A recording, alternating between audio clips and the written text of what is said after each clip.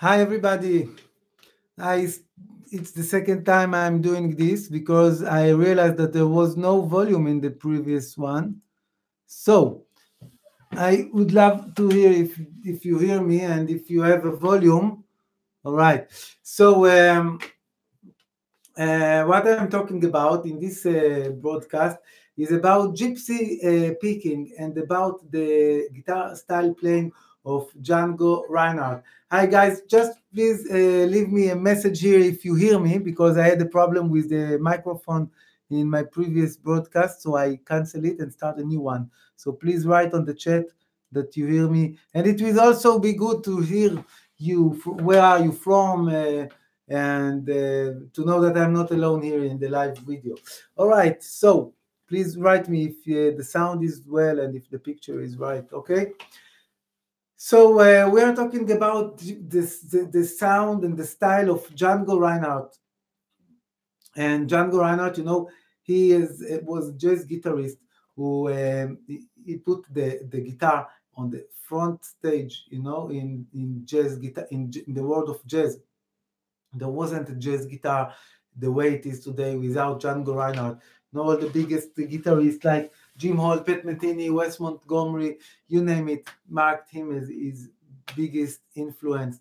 And um, and Django took the guitar and add the the special characteristics uh, of the guitars, like the sound effects, and um, in, like technically he produced much more sound and was able to create much more energy when he played. So I created a new course about gypsy jazz playing and about the style of Django Reinhardt, where I show everything about it there. Let's take, for example, a song. Oh, thank you, Peter, about the, the, the, the comment on the sound. Where are you from? It's good to know where are you from, guys. And um, let's take a recording that Django made in 1934 for the song of Dinah with his band, the Hot Club, de France, and I will play it for you now, and uh, we'll talk about the, the, the amazing stuff that he put inside.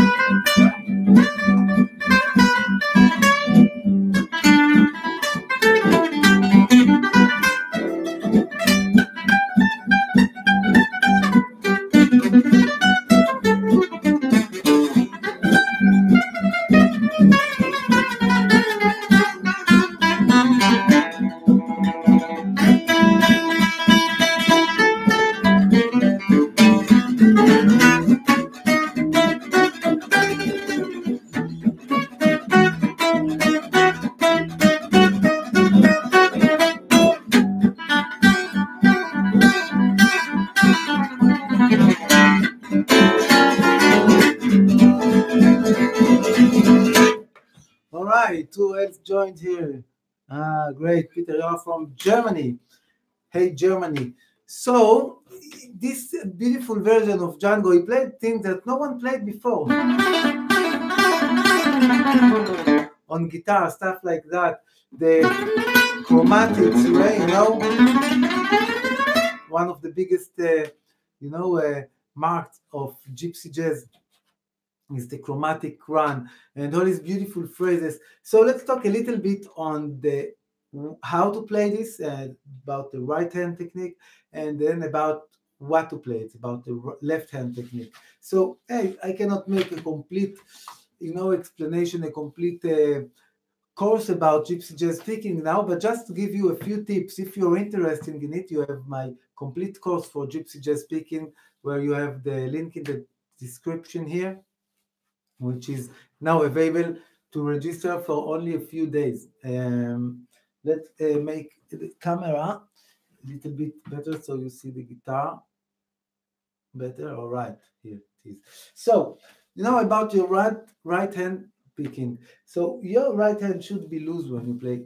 If you want to get the gypsy jazz picking style, you have um, you cannot hold it straight like that because then it's not free. You need you need to have your wrist slightly bent when you play, and then when your arm and wrist is loose, you want to hit the string and lean on the string before.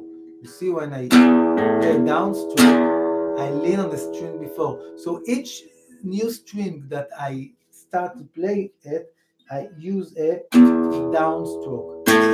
All right? And I want to start a string with an up stroke. And I want, you know, hold my hand like that. No, I will play from here, even when I play very slow. And also when I play very fast.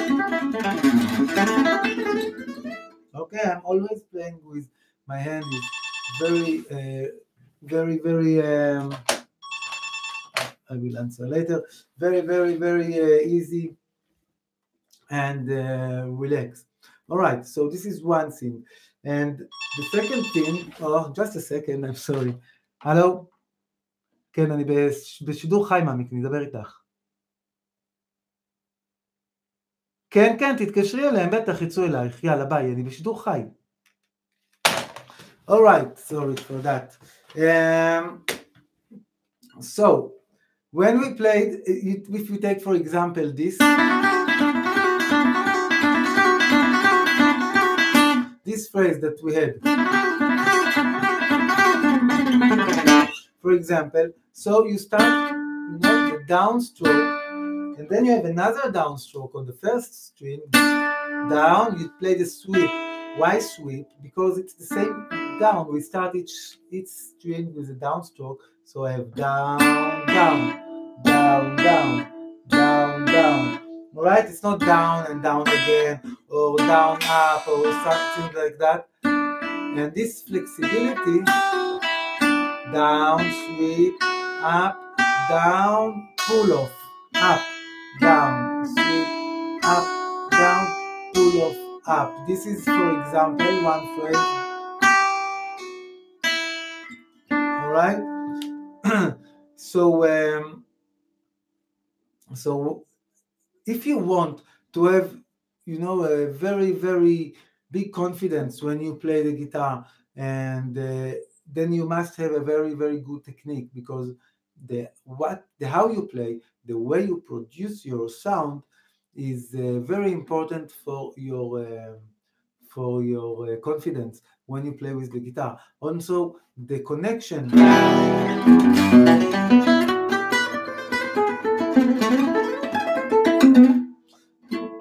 The guitar when you play the connection with you and the guitar and the sound it's very uh, has a close relation to the technique that you have. If you have a very good technique then you have a good connection with the guitar. If your technique is not so good then you also feel like the notes are not bright they're not clean and you won't feel the energy of the music. You won't feel the instrument and the feeling. So if you're interested in uh, getting the the sound of Django Reinhardt, what is better than learning the most important phrases of the style, of Django Reinhardt style, together with the best guidance that you can get for your technique.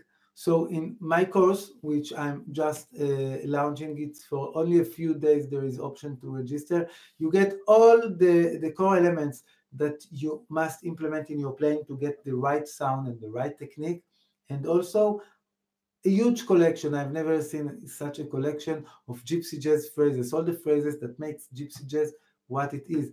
There are so many ex, uh, aspects of uh, the, this technique. For example, because the reason that you start each string with a downstroke, sometimes it creates complex situation when you play down down you have a downstroke of the first string and then a downstroke on the second string and you have down down and this down down over double down over strings for example a little bit difficult instead of playing up, up, up, right? Like a opposite sweep. So we don't do it in Gypsy Jazz. You play down, down, down. But you can also change your fingering and play the note E instead here, here. What explains also how Django played it with only two fingers. He didn't play like that, he played like that. For example, you know, there is a Hungarian tune, Noam Artisuluri.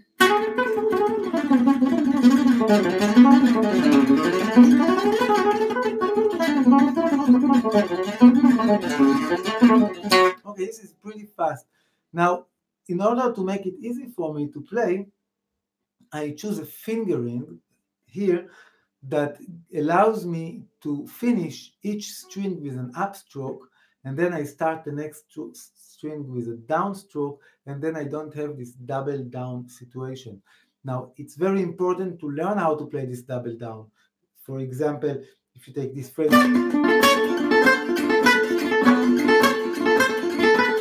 you have down, down, down. You have it all the time. So it's important to learn it. But there are always situations that you choose different fingerings to make your picking more smoother. So this is another aspect of Gypsy Jazz picking that of course I'm covering in the course. Let me play the complete solo of Django for you um, again. It's just an arpeggio. Oh, this is very important, for example, for the sound of Django Reinhardt. Instead of playing, this is the phrase. Django plays it with ups. You hear it? Like a ghost note with an upstroke.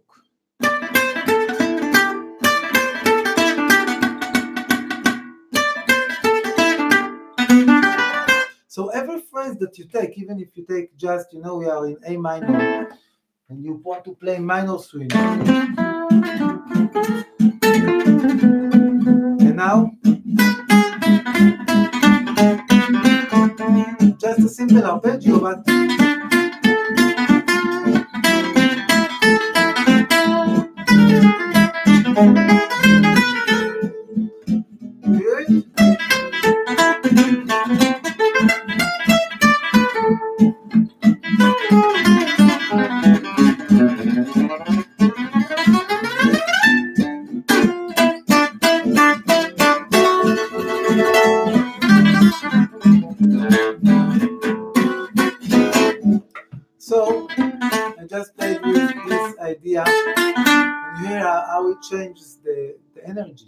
the plane, it makes it more bouncing, right? So um, the complete arpeggio, uh, the complete, the ultimate course for Gypsy Jazz picking is open for registration now. What you learn inside is, um, you know what? Let me read for you. I don't have a way to share the screen here, you know, but you have so many chapters. I will read it for you. You learn how to the story of Gypsy Jazz, how Gypsy Jazz evolved, uh, what hardware I use, and such thing. And then you learn all the fundamentals of the rest stroke picking, how do all the pick, the right hand movements, when to play down stroke, up stroke, sweep. You have a lot of close up and a lot of exercises to really master the technique. then there are a lot of picking move pick, picking patterns. You know, there are a lot of phrases with the same pattern like this. Or this. It's down, up, down, down, down, up, down, sweep, down, up, down, up, down, sweep, down, up. It's a pattern, a lot of patterns. I change the phrase, but in my right hand it's the same pattern. So a lot of picking patterns with phrases with picking patterns inside that I'm sharing with you a lot 15 lessons about that. Ornaments, very important to learn ornaments because if you only take an arpeggio,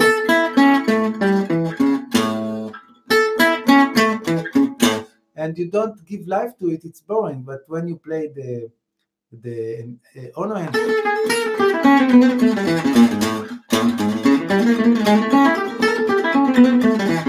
I just take the arpeggio, but I add ornaments. So there are many ornament types. Okay? It was a simple arpeggio.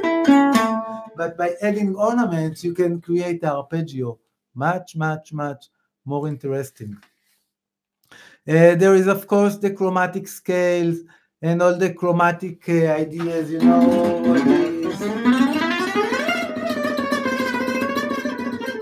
How to play all this, uh, you know, all these chromatic ideas that sound tight and good, and how to play with arpeggios, how to make arpeggios interesting, how to create phrases with open arpeggios. Uh, arpeggios with open strings, you know, there are all these kind of phrases like this one. That you start from an open string. And you know, there is also you start with open string and then you continue on the rest of the guitar.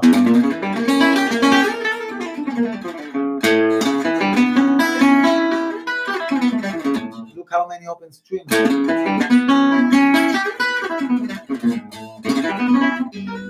So all these ideas I explained in, in a lot of details. It's uh, about nine hours of videos and almost 100 pages of PDF that explain everything. And then you have all the rolls, chordal effects, octaves, you know, in Gypsy Jazz. You, you do a lot of this stuff.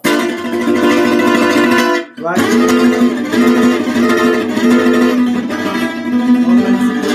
So I'm showing all these two in the course. Very interesting. And get down. You can also read what people are saying. There are so many comments about people who says that they had so they improved their playing so much with this course. Uh, I've been working someone by someone wrote I've been working through this course for a few months and I've been seeing massive improvement in my playing, you know. So if you really want to improve your gypsy jazz picking and to learn a massive collection of uh, phrases from Django Reinhardt, this is a golden opportunity to join. There are tons of bonuses. So if I teach you how to play phrases with with uh, arpeggios, so I also give you a bonus of a complete course of all the arpeggios you need in the world and how to use them and how to learn song from the beginning to the end. So there are many bonuses too. So uh, take a look at the description, uh, check out this course if you want to join, if you really want to improve your playing, take it to the next level in, in the style of Django Reinhardt. So this is your time to join. Okay, it was pleasure being here with you today, and I hope to see you inside. Bye bye.